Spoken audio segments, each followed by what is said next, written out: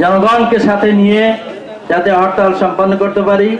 কিন্তু সরকার বিভিন্নভাবে তামাশা করে জাতির ঘটনা হরতালের প্রথম দিনে এখন এ পর্যায়ে বক্তব্য